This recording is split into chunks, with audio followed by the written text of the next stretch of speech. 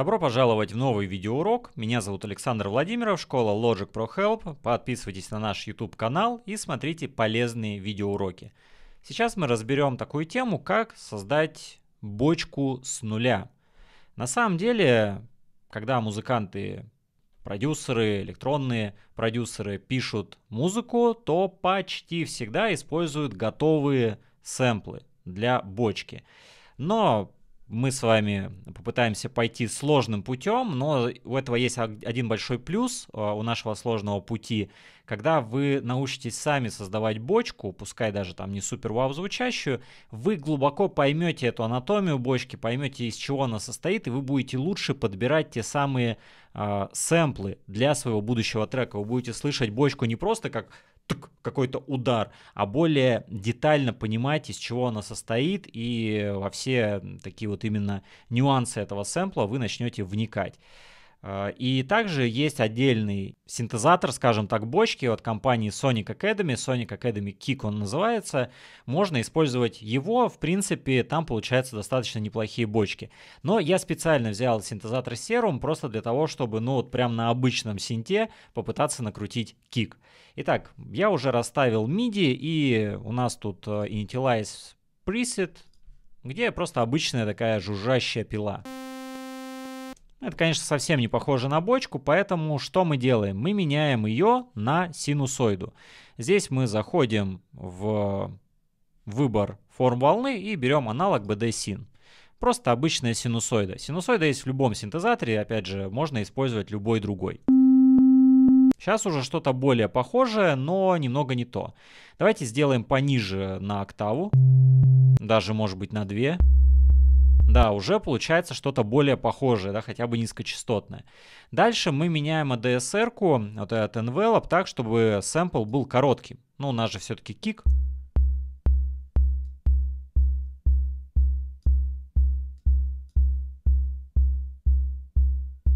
Вот, уже больше похоже. Но есть еще один маленький нюанс. Мы должны взять еще один а, ADSR, очень-очень короткий, прям очень короткий, и повесить его вот сюда вот. Здесь мы делаем на 12, ну, например, давайте 12 сделаем. И мы получаем бочку. Давайте сделаем громче, если вдруг вам не слышно.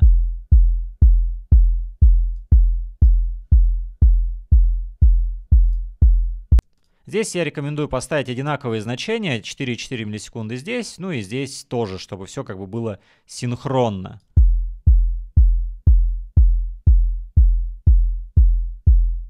А Вообще отлично, да, у нас есть бочка.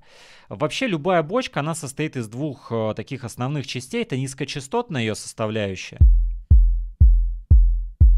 собственно, вот она. Мы можем также менять ноту. Ну, например, здесь у меня нота до, нота С, но я могу, например, поставить другую ноту, которая мне больше нравится.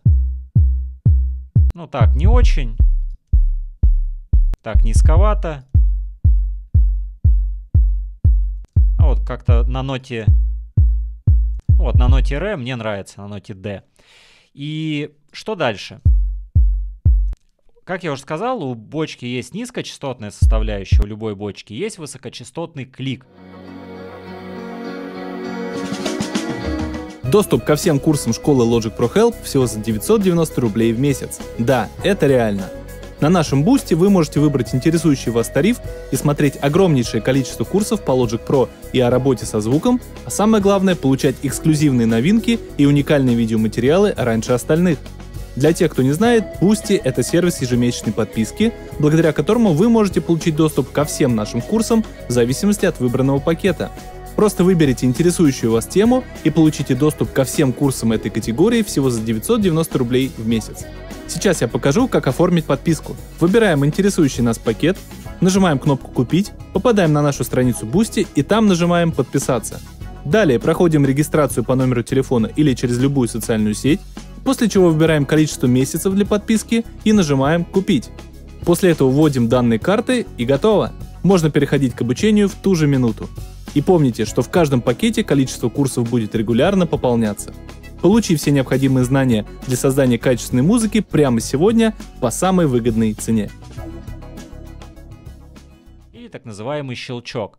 Вот этот щелчок практически наверняка берется из различных сэмплов. Как правило, это может быть какой-то перкуссионный звук или какой-то даже хай-хет, возможно, и так далее. То есть, если низкочастотную составляющую бочки мы почти всегда можем накрутить, то вот высокочастотную составляющую мы обычно берем из сэмплов. Мы здесь будем применять noise осциллятор, где у нас э, могут быть загружены различные сэмплы, но некоторые а, сэмплы здесь уже есть. И заметьте, attacks kick это как раз таки вот этот клик или атака для бочки. Кроме того, если вы даже будете использовать специализированные синтезаторы, наподобие вот тех, что я говорил, там Sonic Academy Kick, то как раз низкочастотную составляющую вы сможете более там глубоко и детально накрутить и откалибровать э, внутри самого плагина, а вот именно высокочастотный вот этот клик все равно там берется из сэмплов. Это нормальная история. При этом мы слышим такую штуку, что звук, ну, как-то звучит странно. Ну, так не должно быть. Дело в том, что здесь необходимо вот этот активировать э, параметр, который э, заставляет звук звучать всего-навсего один раз. То есть, э, если он у вас выключен, то звук как бы сам себя повторяет. Если вы нажмете вот сюда, то луп выключается, и мы, будем слышать так называемый как бы one shot. Собственно, здесь вот даже подсказка вываливается enables one shot mode. О, уже что-то похожее. Делаем погромче.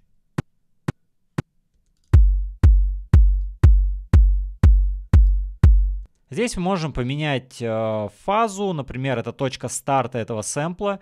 То есть, иными словами, у нас будет сэмпл либо с самого начала проигрываться, либо чуть-чуть с запозданием. Потому что мне не очень нравится, что они как будто не синхронно звучат. Давайте послушаем другие варианты.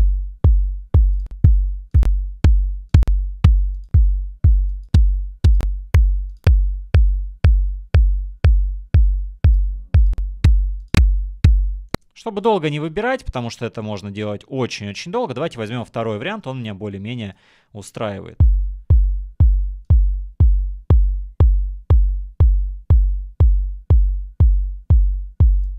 Да, вот так вот мне нравится, то есть на 3 секунд, 3% э, у нас как бы более-менее синхронно звучит, и нет вот этого ощущения, на какого-то такого странного, что как будто они звучат не вместе. По АЧХ мы это не сильно видим, да, этот э, щелчок, этот клик, но опять же, здесь можем менять пич, высоту.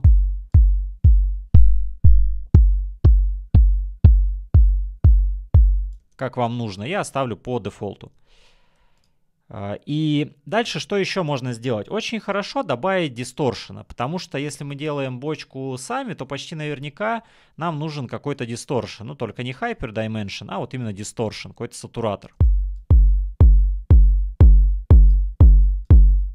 И мы получаем вот эту типичную такую а, бочку, ну даже частично бигрумовскую. Если мы сделаем прям помощней, мы получим вообще какой-то hardstyle. Вот вам, пожалуйста, вы понимаете уже, а, как вот такие бочки создаются. Оказывается, просто с дисторшеном. Очень прикольно, очень а, хорошо.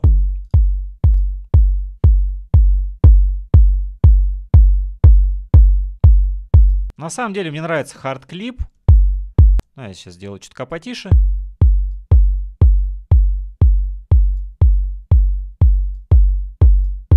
Так уже немного перегруз, вот так вполне себе нормально. И я бы сделал бочку еще немного покороче, она, на мой слух, длинная.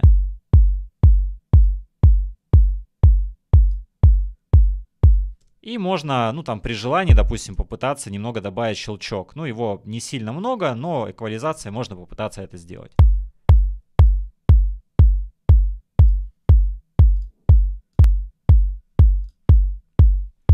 Принципе, все. Мы уже получили неплохую бочку, которую даже можно использовать в треке. И самое главное, мы понимаем анатомию этого самого кика, как он создается, и теперь при выборе, например, сэмплов или при там лейринге бочки и так далее, мы будем более глубоко понимать э, все нюансы этого самого звука. На этом все. С вами был Александр Владимиров, школа Logic Pro Help. Пока.